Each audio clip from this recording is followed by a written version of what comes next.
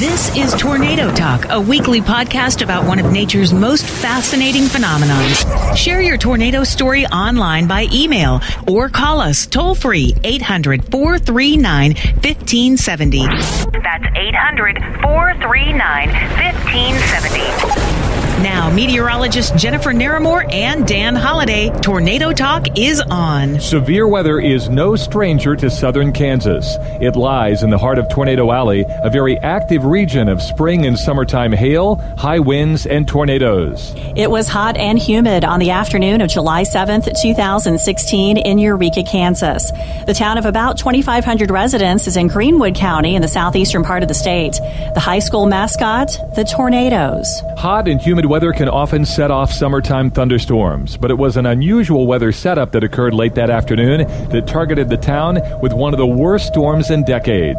The EF scale heads for Eureka. National Weather Service Wichita Warning Coordination Meteorologist Chance Hayes. And with ample lead time before the tornado hit, many folks actually left and went to more suitable shelters than what they may have had at their homes. Storm chaser Taylor Wright. We saw towers going up really rapidly from a storm that had just gone up near Emporia.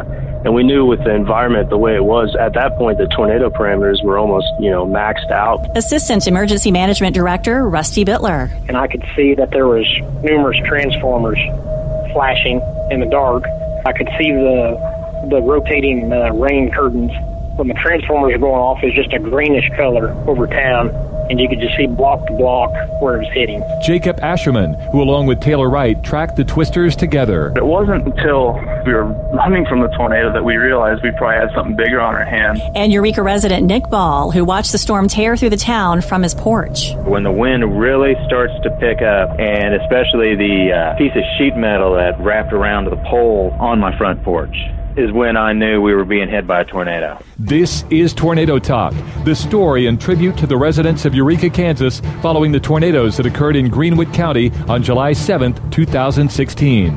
A series of ingredients came together on a hot, humid summer afternoon to produce severe thunderstorms, including multiple tornadoes. One that did EF3 damage northwest of Eureka, and another EF2 that hit the town itself. 92 homes were damaged, 29 had minor damage, 13 with major damage, and six were a total loss.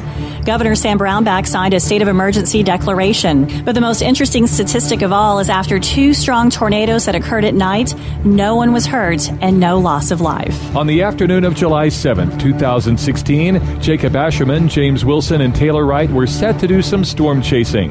They talked about traveling to a spot that looked favorable for storms in the northern Kansas, Nebraska, and Iowa area, but they looked over computer models that showed big storms would likely form in southeast Kansas. Taylor said that's where they decided to go. We thought, well, we're only two hours away from the potential target, so let's meet up in Ottawa and kind of decide from there.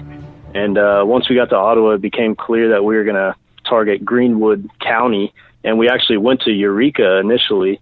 Um, from there, we sat in Rosalia under blue skies, and that's when I thought for sure we weren't going to see any storms.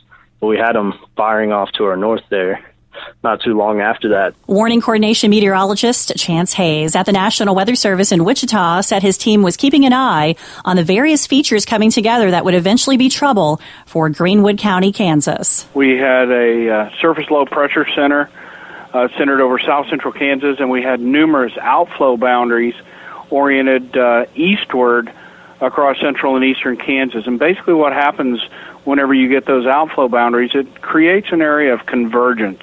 And when we talk about convergence, that means an area where air is going to rise. And anytime you get rising air and you have what we call instability, which is also rising air, you have different levels of instability. It could be weak, meaning the air is not going to rise very rapidly, or it could be strong instability where the air is going to rise violently or very quickly.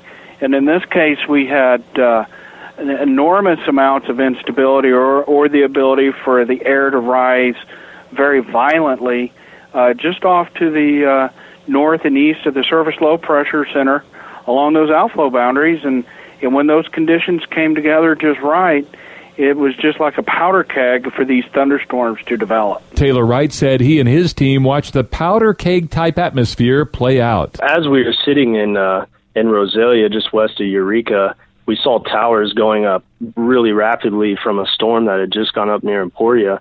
And we knew with the environment the way it was at that point, the tornado parameters were almost, you know, maxed out because CAPE had been much higher than what was forecast. And, uh, and, uh, there's lots of low level shear you need for tornadoes. So we, uh, we were sitting in Rosalia and we saw that storm by Emporia. But as we headed north, a new storm formed to its southwest as that one died off near Matfield Green so once we saw that, we knew that the storm definitely had a good potential for tornadoes, but we ultimately ended up northeast of Teterville, and uh, we sat there, and a wall cloud formed, and once that wall cloud started spinning, I figured tornadoes were imminent. Concern began to grow at the National Weather Service as the storm turned southeast. The tornado threat increased. Anytime that we see deviant flow on storms, it's very nerve wracking, to, be honest with you, because what it means is is that uh, it's deviating from the normal pattern. And when we talk about these right movers, many times the storms have a tendency to be somewhat stronger. And in essence, what they're doing is they're kind of moving in a direction to where they're moving perpendicular to the inflow winds and the warm, moist air that's going to help feed that storm. So when it's getting that perfect flow directly into the storm, it has more moisture and it already has the heat.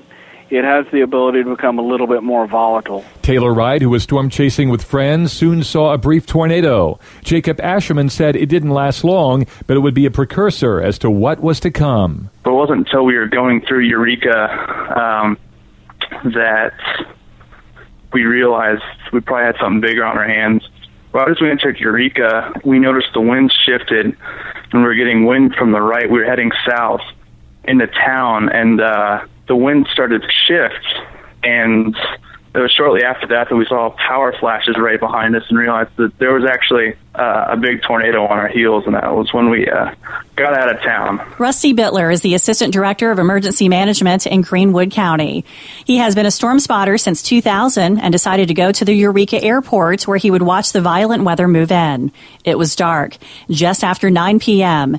In the distance, he saw power flashes. It was evident a tornado was on the ground and headed for a populated area and if I remember correctly, the first tornado warning came out right around 9:06 p.m. So the the first tornado sirens were actually not long after that. And when they updated the warning right around 9:40, somewhere in there, uh, the tornado sirens were sounded again and that was just minutes before the tornado came through the city of Eureka. Warning coordination meteorologist Chance Hayes at the National Weather Service in Wichita said reports from storm spotters coincided with what they saw on radar. And we sat there and we continued to watch it strengthen. And, you know, not only do we have the ability to see where it's raining the hardest, and that's where folks basically go from the light blue to the yellows to the greens and then to the reds, where it's raining the hardest and with some hail. Uh, in this particular case, the storm was rotating very rapidly. It had a signature hook echo, which is in the far southwest quadrant of the storm. So that's one of the things that caught our attention. But not only do we see that, we have the ability to see the airflow within the storm. And we take into account the motion of the storm, and we can see where the winds are blowing towards the radar and away from the radar. And when you see those winds right next to each other, blowing in opposite directions, we call that gate to gate shear. And as we watched that gate to gate shear intensify as the storm dropped to the southeast towards the community of Eureka, uh, we definitely knew that we had something uh, significant moving across the area. A tornado had touched down about 10 miles northwest of Eureka. It was on the ground for more than six and a half miles and at one time a half mile wide. Winds were at 165 miles per hour. James, Jacob, and Taylor were chasing at night, and typically with no daylight, the only confirmation of a tornado can be determined when lightning strikes or by power flashes, indicating a tornado is doing damage as we entered into the north side of town, we started getting some very heavy winds that uh, kind of resembled tornado circulation. And then all of a sudden, we started seeing these bright power flashes out our back window, and we knew there was a tornado almost directly behind us. So that's when we uh, we initially we couldn't actually see the tornado at that point, but that's when we kind of got just east of town and started uh, seeing the tornado go right through the town. Eureka resident Nick Ball said he watched the storms first develop on a trip back home from El Dorado, Kansas. His father decided to spot the storms outside of the city limits. Nick chose to stay home, and because the lightning was fascinating to watch, he grabbed his phone to record video. I, I was under my front porch facing the east with the grain elevator directly across the street from me. And right about the time when I noticed power starting to flicker, that's when I started to wonder if I was in a bad spot. But I don't have a basement or really any type of shelter here, and none of my neighbors do as well. And I just figured I might as well just ride it out. Like when the transformers exploded in the video, I tried to use that as best to try to gauge what was going on. But quite honestly, unless it was blowing past right in front of me, I did not see all that much. Best way I can describe it, all I heard was 10. I heard 10 flying, but I couldn't really tell exactly where it was coming from. But with the elevator, like I say, right across the street, and just about every bit of their building is nothing but sheet metal, I figured it had to be coming from there when the action picks up in the video, when the wind really starts to pick up, is when I knew we were being hit by a tornado. And especially the uh, piece of sheet metal that wrapped around the pole on my front porch. that's when I realized that we're in a lot deeper situation. For nine minutes, the roar of wind and sound of destruction hit Eureka. Winds were howling at 135 miles per hour, and the twister was about 150 yards wide. Nick Ball said once the storm came to an end, he ventured outside to look at the damage. At my home, I lost my carport. It flattened on top of my vehicles. The vehicles are those vehicles were fine. I did lose a pickup truck to a tree and between the two properties that I have, I lost 10 trees total. Assistant Emergency Management Director Rusty Bitler said others weren't so lucky. We had a spot where it was on Main Street between 11th and 12th where we had a lot of roofs missing. Uh, we had some buildings that were basically gutted. We didn't have any completely on the ground in that area. Uh, towards the middle of town, towards that grain elevator, we had a trailer home park where there was oh four or five trailer homes that were completely gutted and on the ground, trees up, twisted around. The grain elevator had two buildings, I believe, that were completely destroyed. Of course, one was on the on the roadway. Uh, lots of lots of roofs gone, lots of tree damage, things like that. Little outbuildings gone. Uh, very, very fortunate the tornado that occurred northwest of Eureka did not occur in the city limits of Eureka, or I think it'd be a completely different story. Chance Hayes at the National Weather Service said not only were there two strong tornadoes that night, but they were occurring simultaneously. The EF2 and the EF3 were on the ground at the same time. We had a new mesocyclone develop to the south and east of the original one so while the original tornado was occurring and causing devastation at that one homestead, the new tornado had developed further south and east up near the country club and moved through Eureka while the other one was still on the ground. Storm chaser Jacob Asherman said what happened that night was riveting for him to witness. Well, it was definitely the uh, most intense uh, chase I've ever had. Closest I've ever been to a tornado was that chase. We were probably about when we were in town. It was probably a couple blocks away from us. So it was an intense experience. Rusty Bitler said officials moved into search and rescue mode. Over 90 homes had been hit. The town's nursing home facility sustained damage. He and his team had no idea if everyone had taken shelter in time. We knew we had buildings damaged. We knew that we were having to start search and rescue operations. It was just the, the eeriness of being dark and the unknown of what exactly was going to lay ahead of us. I think that was something that really struck me we we didn't know how many people were affected. We didn't know how far northwest of Eureka this went, as far as if there was any houses that were damaged up there, which turned out to be from a separate tornado. We didn't know how long this one had been on the ground. It just uh, the whole uncertainty was beginning to set in about that point. The good news is that no one was hurt. No one lost their life. Two strong tornadoes had struck the area and everyone affected found shelter. Forecasters at the National Weather Service say it's their job to keep everyone safe. Chance Hayes learned how many reacted that night in and around Eureka. We noticed on the assessment when we went out the number of folks that actually commented on the wireless emergency alerts that they received on their phones and how that is what prompted them to take action. And with ample lead time before the tornado hit, many folks actually left and went to more suitable shelters than what they may have had at their homes.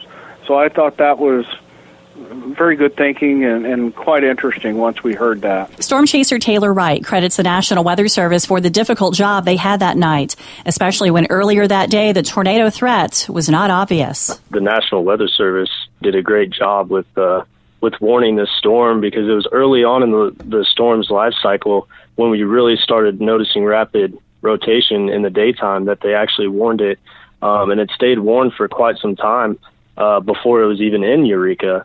So, and when we first pulled in north of Eureka, we noticed there the sirens were always were already going off.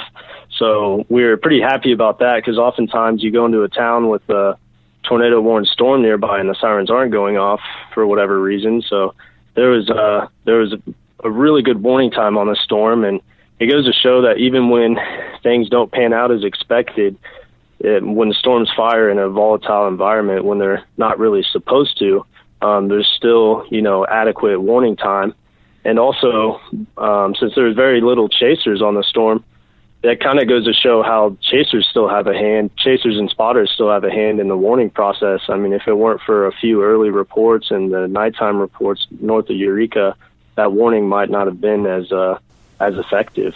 It was Chance Hayes and his damage survey team that would bring the EF scale to Eureka. Their job to determine the magnitude of damage. That would let everyone know how strong the tornadoes were that night. Well, I'm going to start with the community of Eureka, and basically what we did on this particular day, we we began at the end of the tornado track, which was just to the south and east of the city of Eureka, and then we worked our way back to the northwest.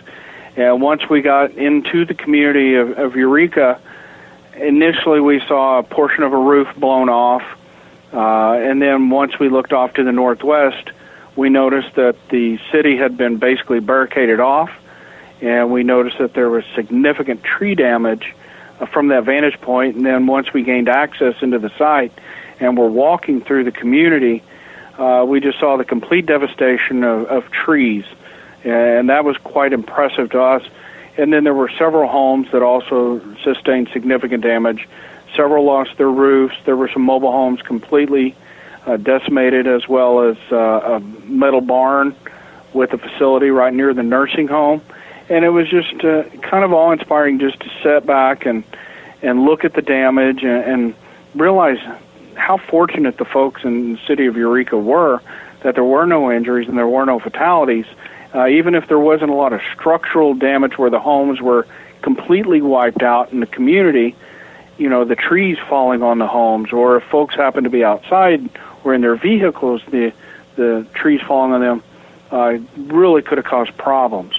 And then once we made it through the, the community of Eureka and and we came back and gave that a preliminary rating of an EF2, we continued on to the northwest where we knew that there was another tornado touchdown and another home that had been hit by the tornado. And once we got to that site, we recognized very quickly that it was a much stronger tornado. The path width was much wider, and the tree damage was much more significant. And the home was completely wiped off of its foundation at that point in time. And we spent some time there really assessing the construction of the home and and based on you know the home's construction and and the level of tree damage, you know, we assessed that with the high end EF3 tornado. And then there was another one off to the northwest up near Otis Creek Reservoir, which is on private land up there, and right in the middle of the Flint Hills. So it's very difficult to detect what actually happened from that Otis Creek Reservoir to where the home sustained the EF3 damage. Cleanup in Greenwood County began. Some residents were homeless. Many didn't know where they would stay or what they would do, but Assistant Emergency Management Director Rusty Bitler said he watched the community come together like never before. We have people that are cooking meals for us every day called Community Link, a group that does meals. They've provided breakfast, lunch, supper every day since this thing. Uh, they're doing it for the community, for the responders. People continue to come in and help. Uh, just people loaning their equipment, loaning chainsaws, just loaning hours of their day to come in and help clean things up. And it's been countywide, it's been statewide, to be real honest. It's just been the support for Eureka and Greenwood County has been overwhelming. As far as the the cleanup effort in the city of Eureka, uh, we are very fortunate. We've had lots of other agencies such as KDOT, uh, Lyon County, Woodson County, Elk County, Coffey County, all the surrounding areas, Butler County, sending dump trucks, excuse me, private organizations sending in semis, dump trucks. We've just made amazing progress Nick Ball shared the storm video he captured on Facebook. His friends checked in to see if he and his family were all okay. Knowing now what he didn't know then, he realized how close he was to the tornado and believes that if there is a next time, his smartphone will be with him taking cover. I don't normally take videos of weather events or anything like that. And if I had to do it over again, I probably wouldn't have taken this video. I would have gone to try to find shelter or barricaded myself. I did I feel scared? No, but I realized I did not purposely try to put myself in harm's way just to get a piece of video. And that if anybody else is ever going to do that, to please make sure that they're safe when they're doing it. With EF2 and EF3 tornadoes on July 7th, 2016, residents in Greenwood County are thankful that the only things that were lost are things that can be replaced. Rusty Bitler is grateful. We have been extremely fortunate to have no injuries due to the original tornado and no fatalities. Nick Ball agrees. I'm not known for my positivity, but I recognize when I've been blessed, and this is one of those times. My parents, they live for Eureka, if you've ever been here, on the other edge of town, but it still only takes about two minutes to get there. And they're they didn't even have a limb down, and they were safe and everything. And like I said, with all the volunteers' efforts and the community coming together, I've just been truly blessed. Next on Tornado Talk, a debate on the future of tornado sirens. With new ways to be warned, are sirens antiquated and costing too much to install and maintain? Should they stay or should they go?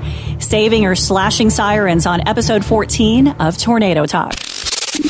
This has been Tornado Talk, powered by thestormreport.com.